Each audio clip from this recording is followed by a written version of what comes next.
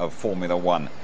Minardi and European aviation owner Paul Stoddart laid on a flight with all the trimmings for Murray to mark his European swan song on the way back from Monza. Heck of a trip it was too.